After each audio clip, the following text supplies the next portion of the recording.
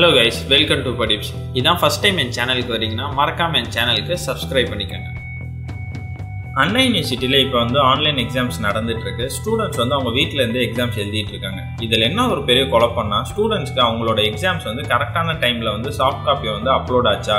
College வந்து அவங்களோட soft காப்பியை அக்செப்ட் பண்ணிட்டாங்களா அண்ட் ஹார்ட் காப்பி கரெக்டாக காலேஜை ரீச் ஆயிடுச்சா அண்ட் அந்த ஸ்டூடெண்ட்ஸ் எழுதின எக்ஸாம் வந்து அந்த காலேஜ் வந்து அக்செப்ட் பண்ணிட்டாங்களா? இப்படிங்கிற இன்ஃபர்மேஷன்லாம் தெரியறதுக்காக அண்ணா யூனிவர்சிட்டி ஒரு வெப் போர்ட்டல் ஓப்பன் பண்ணியிருக்காங்க.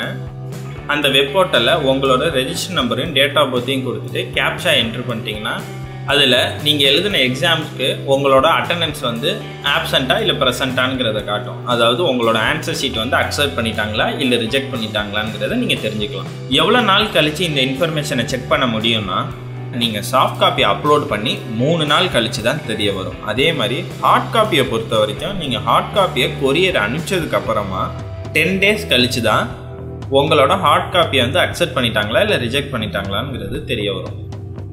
உங்களுக்கு ஏதாச்சும் டவுட் இருந்துச்சுன்னா கீழே கமெண்ட்டில் சொல்லுங்கள் அதுக்கான ஆன்சரை இன்னொரு வீடியோவில் பார்க்கலாம். அண்ட் மறக்காமல் என் சேனலுக்கு சப்ஸ்கிரைப் பண்ணிக்கோங்க.